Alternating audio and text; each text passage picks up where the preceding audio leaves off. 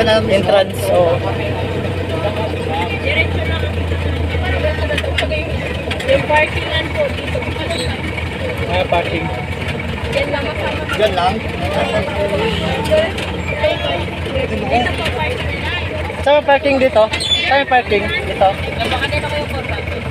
Kaninang contact cloud? Kay Dan. Kay Dan. Ah, kay Dan. Diyan. Parang maano mo yan. Hindi yan malalim. Diyan na iwan to. Diyan na ibabarada to. Oo.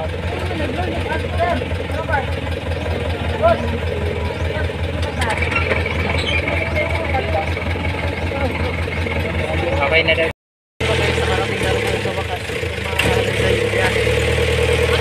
Naligaw pa. Kami nakuha namin ang cottage. Ito po yung cottage nakuha namin. Tapos ito po sa paligid. So yan po yun. Paligid namin yan. So, papakita ko sa inyo. So, ito po yung ito ng kapisasa. Yan. Okay naman guys. Kung titinan nyo guys, malinaw naman po yung tubig. Maganda naman. Lakas-lakas yung mga alon. So kaya medyo ano ako. Maganda. Maganda guys. Okay. Maganda siya. So ito yung buong So ito yung buong ano, ito yung buong area. Yan, ito yung buong area. Yan, ito yung mga cottages. Yan. So ito yung pamilya ko. So yung buong ano namin. Yan. Maganda naman po siya guys, maganda. Hopefully guys, is yung ano natin is ah, makapunta po kayo dito mag-enjoy. So, yan, baka makainom na tubig ah.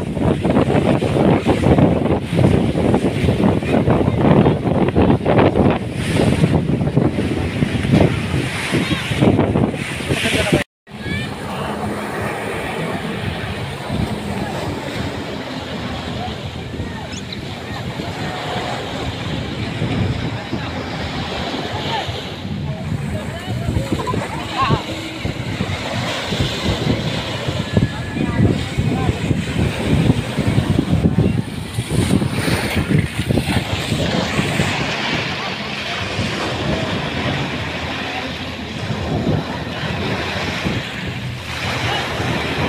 guys again ito na po yung sunlit set natin pakita ko sa inyo so ganito kaganda pag hapon na no so ito yung mga family ko Hoy! YouTube yan ha vlog natin. Oh. So ito yung mga family natin nandito sa, sa site na to. So ito yung sa kabila guys, ito yung ano, ito yung sa may port area. Tapos sa dito. So so far guys, ang masasabi ko lang maganda, okay naman. So ipakita ko sa inyo kung ano meron dyan. So ito guys. Ayan. So ito yung science set natin. Ayan. Ayan si Niston. Ayan si Niston. Oh. Gian. Ah, Gian. ano, nag-enjoy ka ba? Ha? Enjoy ka? Hoy! Jinjin! Oh! Ayun yung dalawa. Ah. Ano, Joshua?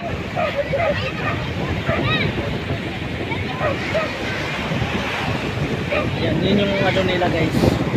Super guys, maganda naman dito. Super ganda, maganda. Ito yung sunset. Ganda na camera mo to.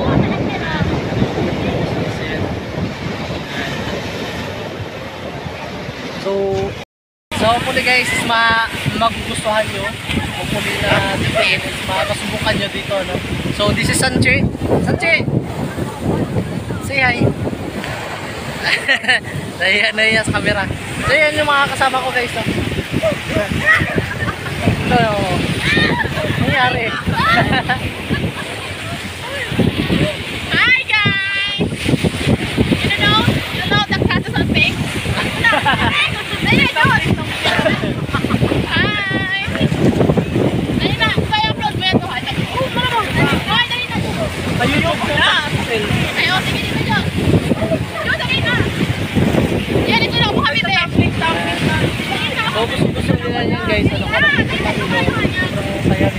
So hopefully na pag ano, pag ulit namin dito is magustuhan ulit kami.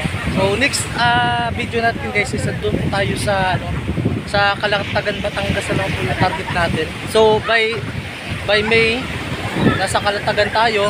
Then after ano, after ah after 2 weeks ng May is pupunta ko tayo ng ano, uwi naman ho kami ng Leyte. So yun po yung goal natin na this month and this coming ano, uh, this coming month, no. So actually yung ano naman, yung yung time na to is yung ginagawa natin namin is parang ano lang siya, ah voluntary lang at ganun ano namin, bigla biglang plano. Kaya yun po yung napag-ano namin, pagpasya namin na pupunta kami dito. So unexpected naman, akala ko naman eh, hindi siya okay, pero yun nga, is na na-book okay naman pala. So, I recommend na maka, makakadalaw kayo dito sa sa sa sa sa sa, sa beach na to. So, basta sinasabi ko guys is maganda. Kung, kung buhangin na pag-usapan guys, hindi naman siya white sand pero mapupino. No, pino po siya. So, maganda naman guys. So, police guys na mga So, I do recommend na makapunta kayo dito. Di ba, Sanse? Ah, yan. So, for now guys, bye for now and see you tomorrow again. And again, this is Ma uh, Marjosh in Aber TV or Marix22 TV. So, this is my tita. So, nagugutom na naman. Tita, nagugutom na naman kung pagkain. So, ito yung tent namin. So, actually, meron pa kami dinagdag na dalawang tent. Inaantay lang namin na dumating yon. So, meron po kami din dito. Nag-ihaw din kami ng talaba o shell. So, ito yung kapatid ko. No? So, ito yung founder ng ano grupo. so, yung kapatid ko din na isa. So, tagay tayo. So, hindi ko napapakita kung ano to ha. Kasi walang bayad eh. Baka naman. May may mag-sponsor. So, ito si Sam.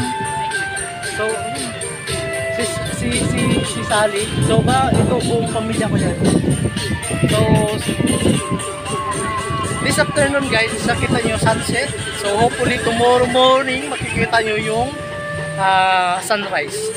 So, hanggang ano pa kami dito, hanggang 4 p.m. afternoon pa kami dito. So, ito yung asawa ng pinsan ko, si Nestor. So, abangan nyo din yan. Baka sakali, mag-YouTube na rin yun. Oh, ito yung pinsan ko, si Danica. Sa loob, matulog Ito yung mga ito yung ano ko, yung tita ko, yung mga pamangkin ko nasa loob. So, nag-tent. So nag-aantay pa kami sa dalawa naming order na tent hindi pa dumating. Yung tent namin dito sa amin yan, personal na dala ng kapatid ko. So guys, see you tomorrow again. Bye-bye.